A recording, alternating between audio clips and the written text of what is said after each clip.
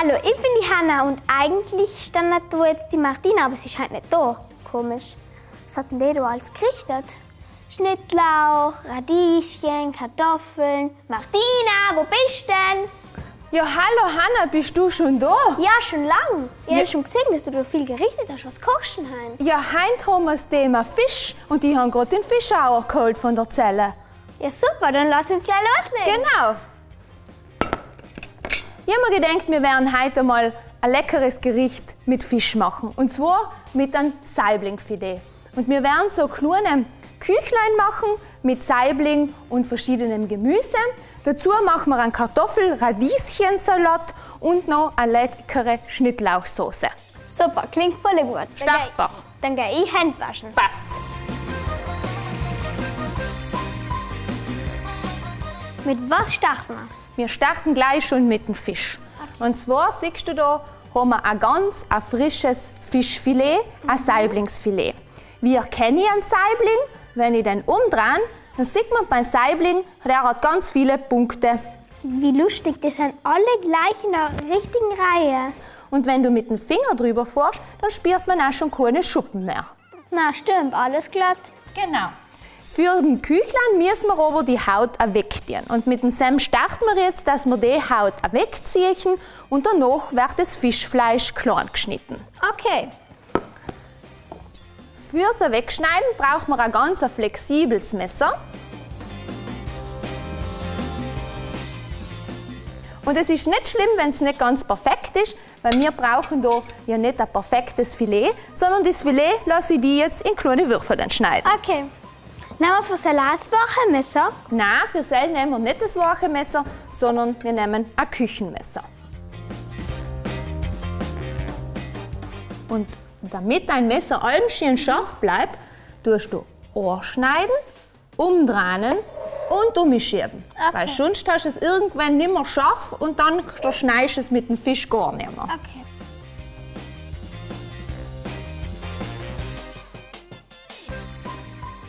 Perfekt, das schaut super aus.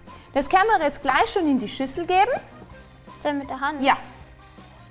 So. Und jetzt vor allem noch die restlichen ähm, Zutaten für unsere Küchlein. Und zwar klein geschnittenen Lauch und klein geschnittene Selleriestange, ein paar Brotbrösel, zum Andünsten vom Gemüse ein Rapsöl und zum Verfeinern brauchen wir eine Mayonnaise und einen frisch geschnittenen Schnittlauch. Du tust dir jetzt die Hände waschen und ich röste in der Zwischenzeit das Gemüse an. Okay, passt gut.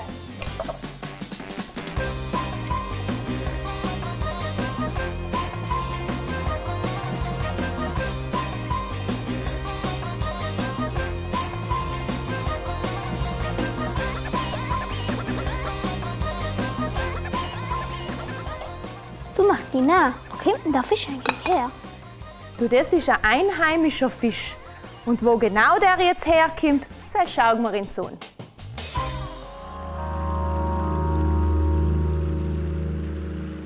Ich bin der Jakob für der Sahner Forellenzucht und wir haben hier in den Teich drin äh, verschiedene Fische, zwei Rottingen hauptsächlich, einmal die Forellen und einmal die Saiblinge. Die Saiblinge sind äh, wie äh, eleganteren Fleisch, sogar, wie saftiger wie die Forellen und äh, werden auch viel verkocht und, und gern gegessen. Wenn es will, dann sage ich mal an, wenn wir ihn kriegen. So, jetzt haben wir ganz einen schönen auch noch dabei. Man sieht, äh, der da, das ist jetzt ein, ein Weibele wahrscheinlich, weil äh, die Männler sind unten auf äh, viel oranger wie das da. Aber was die Saiblinge klassisch haben, halt sind die, die weißen Flossenränder. Hell unterscheidet sich für die Forellen hauptsächlich. Probieren wir nochmal, vielleicht finden wir eine Mandel an. Weil ich noch mal Fell gehabt habe. Siehst du das? Jetzt sagen wir Mandel. Schau, das hat eine schöne Farbe. Das ist jetzt schön äh, orange unten auf. Gell? Kann man so. Jetzt streichelt, Streicheltiere sind es nicht, aber man kann es schön angreifen. Das ist jetzt eine Mandel. So, und den noch mit. Und jetzt sage ich eigentlich als Vergleich nochmal die Forellen. So, das sind jetzt äh, Regenbogenforellen. Sieht man schon, die sind für den Farbherrscher ein bisschen anders. Sind auch lebendiger wie die Saiblinge, muss man auch sagen. Und die schauen noch so aus. Hoppla, der ist schon mal weg. Vielleicht lässt sich der besser anschauen. Die schauen so aus, die haben noch die Flossen nicht so weiß. Und äh, ja, nicht sind halt Forellen, wie sie sein. Die leben nicht im Bauch, im Bauch ist die Bachforelle und wir haben da die Regenbogenforelle. Ja, wichtig ist für die Fische, dass sie ein sauberes Wasser kriegen. Wir äh, den Insekts für den Talfer herholen, das ist frisch und, äh, und dringt dann wieder in die Talfer zurück. Und wenn das äh, zu warm wird oder zu lang steht, dann kriegen die Fische hauptsächlich auch die Saiblinge Probleme mit äh, Verpilzen und werden dann krank. Aber solange das schön frisch inrinnt, wie wir es hier sehen, im Kanal, dann haben wir da keine Probleme. Perfekt schaut das aus. Und jetzt geben wir in so einen frisch geschnittenen Schnittlauch dazu und dann kannst du auch schön innerieren.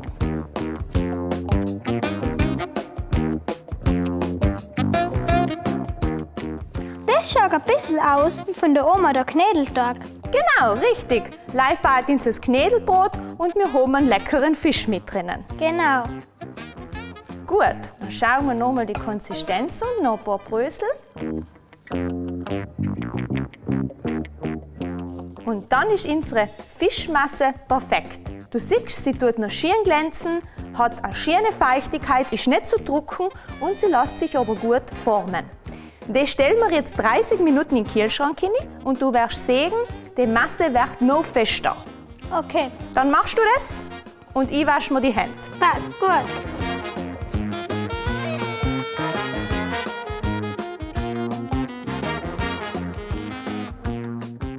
Wir nehmen dann die Hände, machen sie in eine Schüssel drinnen ein bisschen nass und so wie du es von, von der Oma kennst, machen wir ganz locker Kugeln und drucken die dann schön flach. Okay, so machen wir.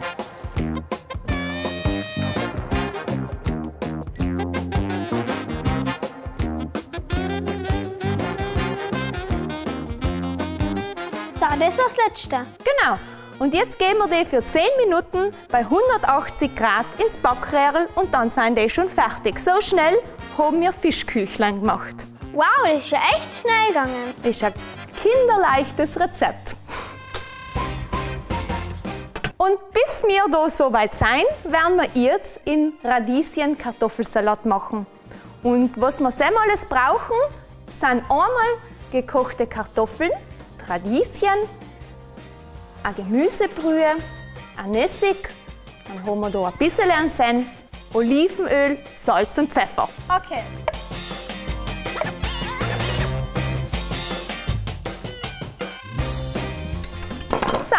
Und jetzt fällt ins Leino das Dressing. Dafür nehmen wir eine Schüssel und so einen Quirler. Der schaut lustig aus.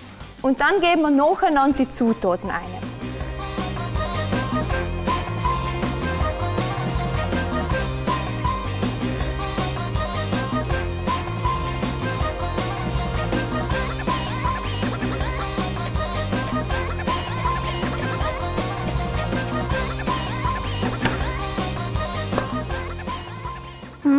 Schaut das gut aus. Gut, für die Schnittlauchsauce nehmen wir einen restlichen Schnittlauch, den wir klein geschnitten haben.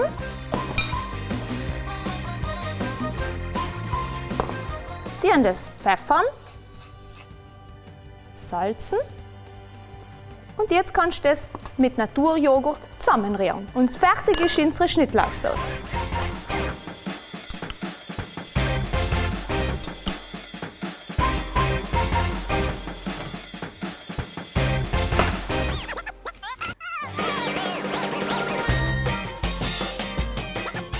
Dann fallen Leino unsere Fischküchle.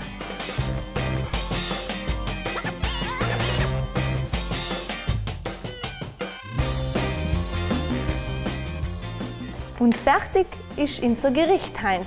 Und zwar Saiblingsfischkucheln mit einer Schnittlauchsoße und einem Kartoffelradieschensalat. Das schaut so gut aus. Ich fange jetzt gleich an. Lasst das schmecken. Mahlzeit!